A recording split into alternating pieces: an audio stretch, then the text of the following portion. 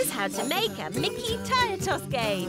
You'll need cardboard, paper plate, paint and brush, bowl, mug, marker pen, scissors, craft knife, paper, double-sided tape, black tape and a glue gun. To start, draw around a plate on a piece of cardboard. Draw a smaller circle inside, then cut out the inner circle.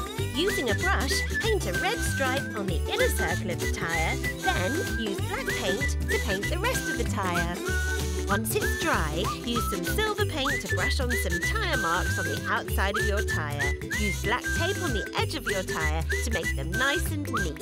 Remember to paint the other side and repeat this process to make three tyres. Next, on some cardboard, use a bowl to draw two circles and a mug to do two smaller ones. These out, paint them and let them dry.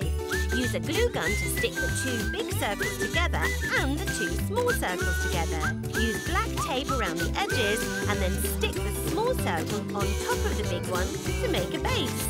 On a sheet of paper, stick double-sided tape across one side, peel back the tape, then roll the paper tightly to make a tube.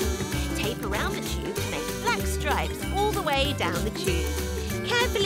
Craft knife to pierce a hole in the centre of the base, then use the glue gun to stick the tube to it. And that's how you make your very own Mickey Tire Toss game.